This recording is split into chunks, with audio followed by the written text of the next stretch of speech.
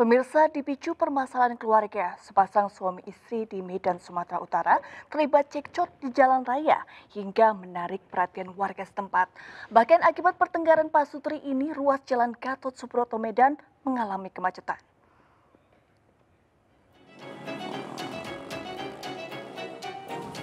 Sepasang suami istri melakukan keributan sehingga menarik perhatian warga.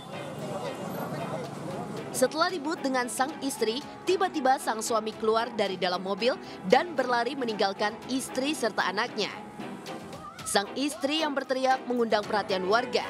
Warga pun langsung mendekati mobil dan didesak yang berada di dalam mobil agar keluar. Akhirnya wanita yang duduk di kursi pengemudi tersebut turun dan menceritakan permasalahan yang terjadi.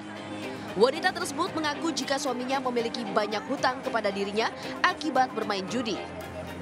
Dia nggak bisa bayar utang saya, dia mau Pak. Sedangkan dia janji mau bayar saya kan, tapi dia lari, Pak. Saat wanita tersebut bicara kepada warga, seorang remaja keluar dari mobil dan berlari. Warga pun langsung mengejar remaja tersebut dan emosi lantaran kelakuan remaja tersebut tidak menghiraukan warga.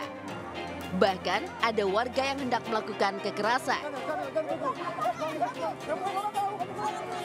Peristiwa tersebut, arus lalu lintas di sepanjang jalan Gatot Subroto Medan menjadi macet. Dari Medan, Sumatera Utara, Ahmad Ridwan Nasution, iNews melaporkan.